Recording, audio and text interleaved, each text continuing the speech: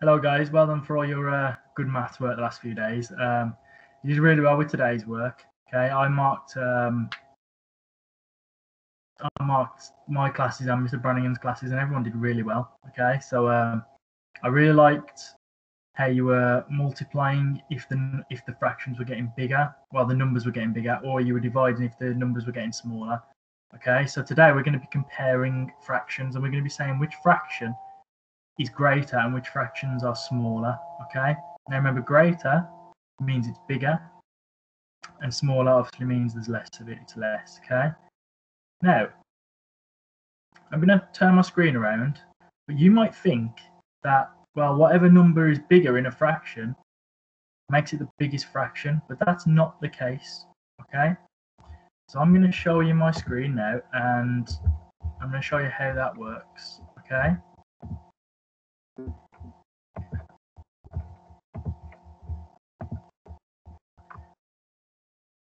So you should be able to see my screen now. You can see I've got one quarter here and I've got one sixth. Okay. Now you might think, oh well, six is bigger in the denominator there, so a sixth is bigger. But that's not the case, okay? Because if you remember, this means it's been the one whole, the one cake, has been split into six parts, okay? Whereas here, the whole, the cake, has been split into four parts. And if I cut the, if I have two of the same cakes, and I cut one into four parts, and I cut one into six parts, well, the one in the four parts, you're going to get bigger parts, aren't you? Okay. So if Mr. O'Brien eats one part of the cake that's been cut into six,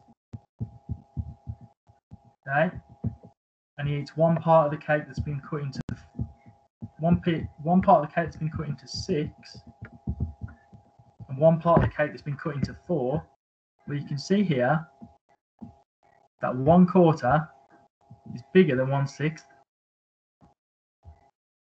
Okay, if I draw that line down there, you can see that if the cake has been cut into four and you've eaten one piece, you've eaten more than if the cake's been cut into six and you've eaten one piece. Okay?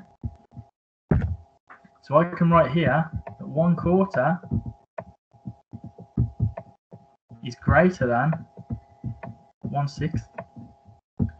And you can see how that works. Okay? You can see it works because if I split this one into four parts and this one into six, well, this has got less parts, so it's going to be bigger. Okay? Now you're going to be asked to find which ones are greater, then you're also going to be asked to find which ones are smaller. Now, we've got one half and one third here. Okay? Now you might straight away think, well, two is smaller than three in the denominator there, so it must be smaller. But you can see that's not the case, okay? Mr. O'Brien eats half the cake, which means it's been cut into two parts, and he eats a third of the cake, which means it's been cut into three parts.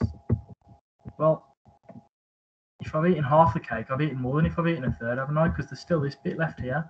So actually, a third is smaller than a half.